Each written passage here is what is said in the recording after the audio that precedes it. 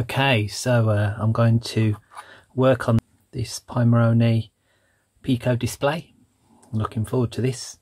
Um, but first of all, I've got to solder some headers onto one of my Pi boards. So let's just get that done now. It says to use this, I've got to have the uh, headers pins pointing down. So I'm going to do some old school soldering. Got my old wireless soldering iron out. And uh, let's just work out the header pins. So I'm going to need... Oops, that many.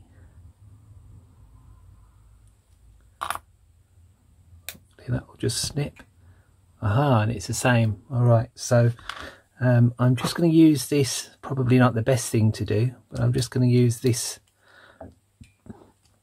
much more expensive board to just uh, align the pins to, be to begin with. And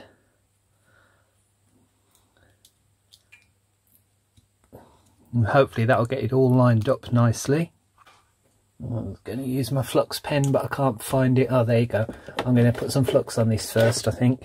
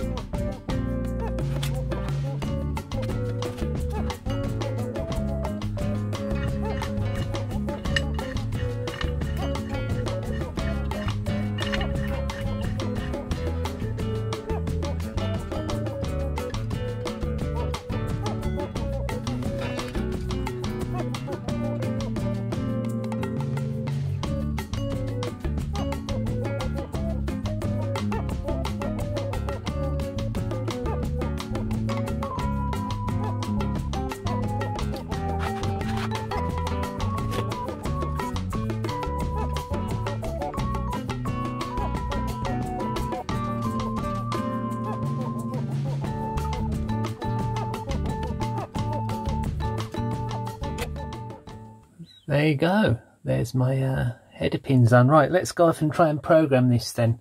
Or let's just uh, put that in there before. Just check that I can at least get something. Get that aligned first. Looking good. Okay, so what you're supposed to do is to program this is to push the boot select in and then put the USB in. There you go. Doesn't always work the first time. When you see the drive letter like there, then you let go. So hopefully this should be now um, like a USB drive. Don't know what that index HDM is. You can program this using C or Python. So it says to go to raspberrypi.org and there's getting started with MicroPython and there's this UFT, UF2 file. I need to find it. So uh, I've downloaded that. So that's uh, let's go back. There's my UFT file Pico MicroPython. Uh, and I just have to drop that in there. And apparently when you drop it in that's all you do to program it. It disappears. There you go. So it's disappeared now and that is now uh, ready for Python. So then you go into your Thonny. Let's just close that. Ignore what it says at the moment. That's the code for the screen. But I go to Tools and Options on Thonny. And you have to make sure that you select this Raspberry Pi Pico there. And then find the port. Now I know on this one it's going to be this. That, that's the port I recognise board in FS mode. So if I hit OK now, then you get this little thing down the bottom that says MicroPython. And if you go, uh, if I remember, is it print? Print. Um, hello. I think that's right. Yeah. So that's that's actually the board that's running um, over there. So so what I'll do now, I'm going to turn it off. So I'm going to turn it off just by undoing it. and on the Pimoroni site there's this um, demo.py so um, it's in a github. So if uh, it's a bit hard to find um, there you go. Latest release over here on a github. Internet doesn't work very well when I'm in the cave. So while that's uh, loading I will plug this in and make sure that the USB going in there is the same as the USB there and I've got the pins lined up so all right. In we go. It doesn't want to load. There you go. Um, and then hopefully see it says back end terminated so hopefully now if I plug this in again always the wrong way. Oh always the third time all right so hopefully that's on now oh yeah it's on. You've just got the um you can just see that little RGB so what I'm hoping is this demo.py, I got that from uh, MicroPython. Examples Pico display and that demo py there. So what you do is just grab that, copy this, um, and whoops, a little bit more. Not very good at using my Mac single-handedly. Uh, copy that. And then if I get rid of that and put that in there that's that's what I've done. Right so hopefully now if I run this. So to run this this command I type that hello down there. Ah look but it says it's disconnected. So hopefully if I hit stop yeah I get the little I get the little thing again. Now I could type that I'll get the little prompt again. I could type this um, program in but obviously it's there and you can save the program and you can actually save it onto on onto the, the Pico itself which is quite clever so anyway let's run this. Okay. All right so import error no module named Pico display. So um this was a problem for me. I just went off and nothing said anywhere on the on the interwebs about how to um, install a module. I thought, well, I've obviously I need this Pico display module. This is what I'm trying to import. I can type that in import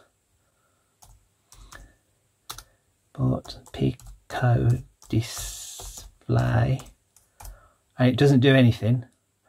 And then the only instructions it said if you want to import a module to it go to tools and manage packages and then you'll get a list of things here but there, there isn't a list of things so there's, there's nothing there and if I, I did pico display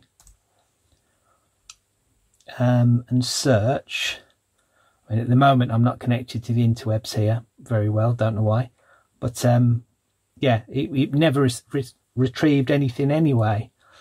Um, so I didn't know what to do. And then at the bottom of oops, at the bottom of uh, the internet, I found something that said actually the modules are within the MicroPython build. But to use this display, you need the MicroPython build that Pimoroni wrote. And I'm using the Raspberry Pi one. All right, so if you've connected your Pico display to your computer and you're trying to run this um, Pico display demo from Pimoroni, when you try and run it, if it says there's a module error, it's probably because you've downloaded the Pi software, Spider, you've downloaded the Pi software from Raspberry Pi and not from Pimoroni. So um, you can find it somewhere. Pimoroni on GitHub somewhere. And there is a special little um, link to the proper software for this. So let's go back to where, where I was before. so download the Pimoroni software and the Pimoroni software is Pimoroni Pico my, MicroPython. So we've got to reset this machine, reset the this again. So hold down the boot, plug him in. All right, and then there's this Pimoroni Pico Py, MicroPython. So let's put that on. Okay. All right. And it's ejected. And let's try and connect on here. So stop. There's the thing back. And now let's try and run it. Ah it's beautiful. Look, can you see that? How lovely is that? Look.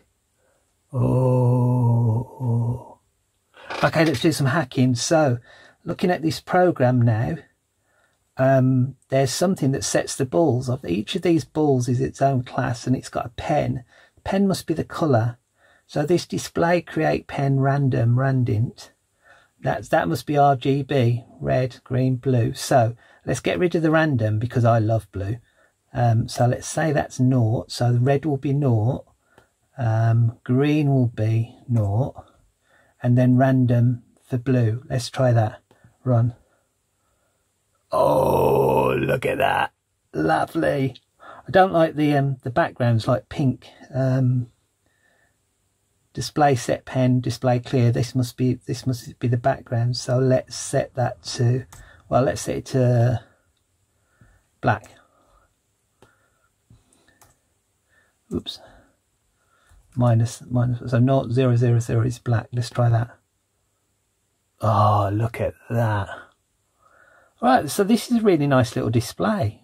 I like this and actually considering each one of those little graphics objects is its own little entity the way this is running through the code that's really really interesting. So what does it do? It it it defines a ball class and then it creates one of these balls. Um, each of these is like a different size and a different position it starts on and maybe a direction as well and then this is this uh, this is a standard thing for moving. Ball x plus or minus ball y yeah. And if it's over the side of this if it's one way depending on which ways it's going then reverse it that sort of thing and then display that. And then at some point it must go yeah so it goes for every single one of these little ball objects. So moves each of them. So moves them all a little bit, draws them, moves them all a little bit, updates the screen and then starts again. So yeah, so that's really cool. So yeah, this is my first foray into MicroPython. But remember, so if you're getting an issue, don't forget to subscribe. Thank you.